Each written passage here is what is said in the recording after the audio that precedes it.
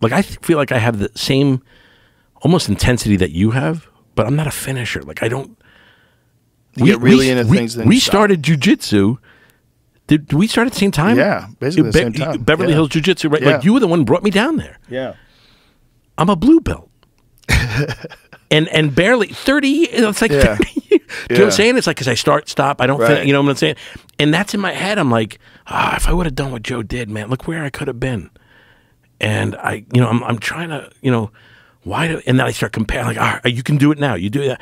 And I, if, if I play that game, I'm done because I can never catch up to Yeah. other people. Well, a lot of it's like learned behavior patterns. You just have you get stuck in, and if you're unlucky, you can get a bad behavior pattern of constantly quitting things. Right. But if you're lucky, you could. Look, I got very lucky that when I was 15, I got obsessed with martial arts. Right. Because that was the first thing I ever did in my life where I didn't think I was a loser anymore. I was like, I realized that if you work really hard at something and you're completely obsessed with something, it could transform your life. So my my life from the time I was 15 to the time I was 18, I was a different human. From 14, 15, I was insecure. I'd get bad social anxiety. We moved around a lot. Right. I'd get picked on a lot. And I went from that to being completely confident, like uh, being just Yeah. a different human being. I was fighting all the time. It wasn't like to me the uh, the fear of like conflict was pretty much gone because I was just engaging in conflict all over the country. I was flying around my whole high school, all my time. So I got in my head that the way to feel better and to get life to improve is to just fucking dig in mm-hmm. and keep going and don't ever quit. Don't fucking quit. that's so great. But I got lucky that that's something that I fell into when I was 15. I often think about, you know, there was one day, dude, one day when I was coming home from a baseball game where I walked up the stairs. We were getting ready to ride the T, which is like the Boston mm-hmm. subway, subway. system. And we were getting ready to ride the T, but the line after the, the baseball game was like really long. There was so many people that were on the T. So we, just for a goof, walked up the stairs to see this Taekwondo school. And as we were walking up the stairs, this guy, John Lee, who was a national champion at the time, is preparing for the World Cup.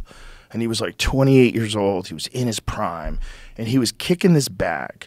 And as I was going up the stairs, I was hearing whomp. And then the sound of a chain, like shing, whomp, shing. And I went up and watched this guy kick the bag, and I was like, like "What the Tong- f- Tong Po that?" and yeah, kickboxing, whatever He's kicking the pole. Yeah. yeah, Yeah. and I was I was just I was like, I want to learn how to do that. Right. And I was there the next day. I signed up. I, I had enough money to pay for the class. I signed up, and I was there every day. From then on, I was there every day. I mean, every day. I worked out every day of the week. I worked out Sunday. I worked out every day. I never took time off. I was there for hours every day.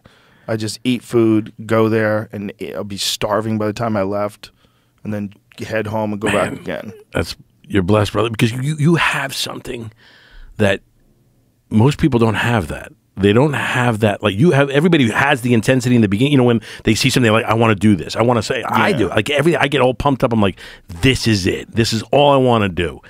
And then it's like. uh, You don't want to suffer. You don't want to put the you know the work Yeah. in. The- you know, that's the difference between we we both love jujitsu. Well, to love something you gotta you you gotta know it. You have to know it, right? You can't love something you don't know. Well, i love it, but you know what I don't love?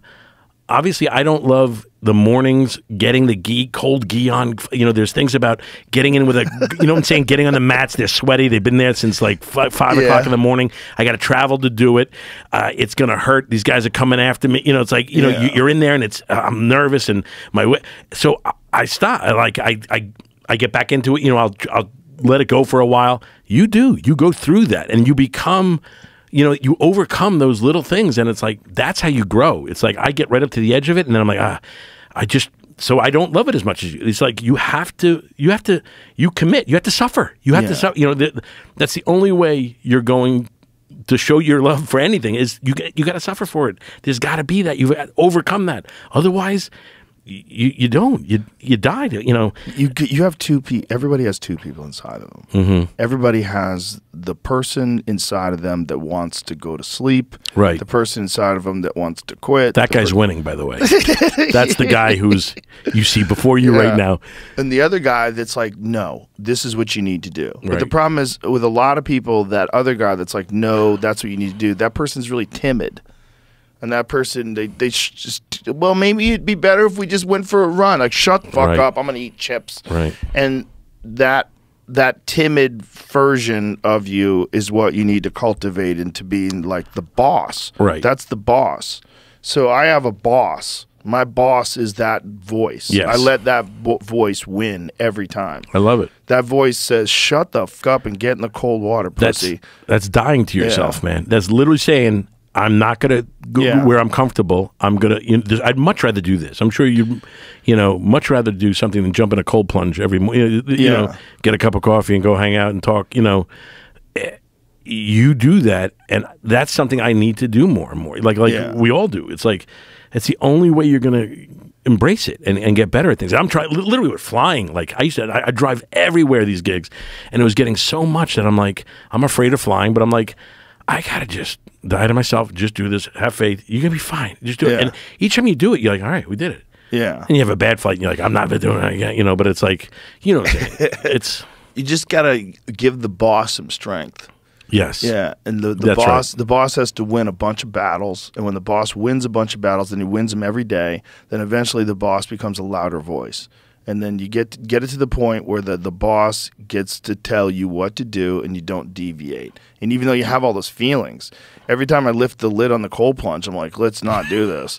Uh, every time, and, and but the boss is like, shut the fuck up. The boss gets mad if those voices pop up. So like, I'll make you do an extra minute, bitch. Right. Get the fuck in there. I love it. And you know, there's two pieces of advice I always give comics, or, or just young men in general. Aspire to be the person you pretend to be when you're trying to get laid. yeah, Just be that person. Yeah. Instead of pretending to be that person, become that person. right. Become a person that you would admire. You can do. It's possible to do. If you can pretend to be that person, you can actually be that person. Right. Aspire to be that person. and then the second one is live your life like a documentary crew is following you around. Live your life like as if you wanted the whole world to go, wow, that guy's really killing it. Like, I love the way that guy handles things.